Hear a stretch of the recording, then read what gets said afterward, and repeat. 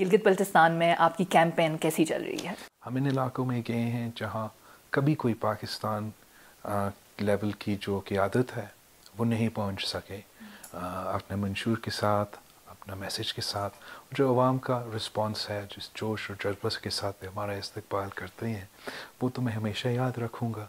फासला बहुत ज़्यादा है ट्रैवल बहुत सख्त है।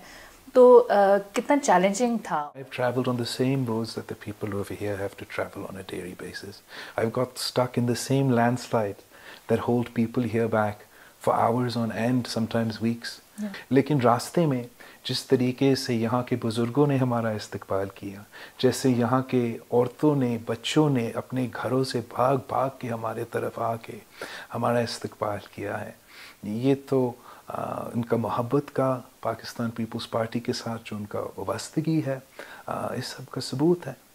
कुछ ऐसा जो आपको याद हो कि आप एक्सपेक्ट नहीं कर रहे थे और वो आपने देखा या महसूस किया?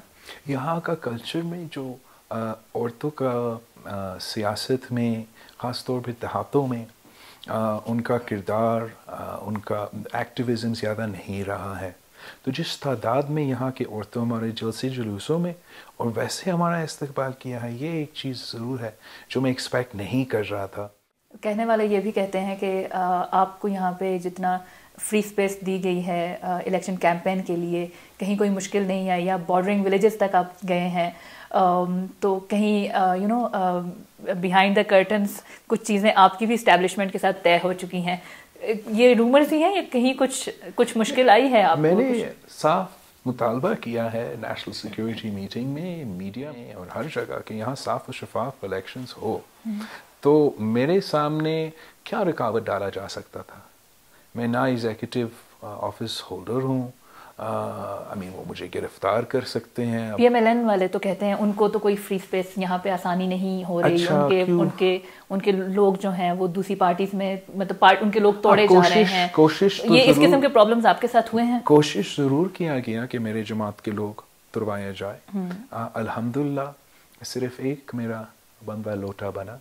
आ, मगर मेरे पास आई नो कि कौन आ, और कब मेरे बंदे मेरे कैंडिडेट्स के साथ या मेरे पोटेंशियल कैंडिडेट्स के साथ रबता हुआ कौन से कैंडिडेट्स को बताया गया धमकाया गया कि पाकिस्तान पीपल्स पार्टी छोड़े या इंडिपेंडेंट लड़े या पीटीआई को ज्वाइन करे? ये पीटीआई धमका रही थी लेकिन शुक्र अल्हम्दुलिल्लाह मेरे लोग मेरे साथ आ, अभी तक लॉयल हैं। अगर पाकिस्तान तहरीक इंसाफ पार्लियामेंट में प्रोविजनल प्रोविंशियल स्टेटस है जो गिलगित बल्तिस्तान का वो उसका मामला लेकर आती है।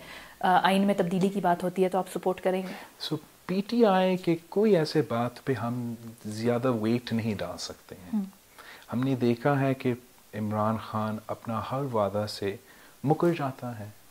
माजी में भी इसने 2018 के इलेक्शन से पहले जनूबी पंजाब के अवाम के साथ वादा किया था कि उनको सौ दिन के अंदर सूबा दिलवाएगा नहीं किया।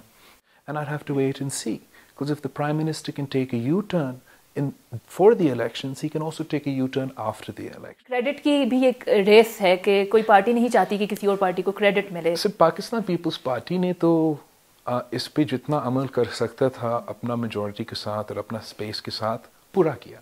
हमने ना सिर्फ़ कमेटी बिठाया, हमने गिलगित बल्तिस्तान को, गिलगित बल्तिस्तान का नाम भी दिलवाया असम्बली भी दिलवाया वज़ी अला और गवर्नर भी दिलवा के उनको अपना इंटरम तो सूबाई हैसियत दिलवा दी। हम इससे आगे क्या बात कर रहे हैं?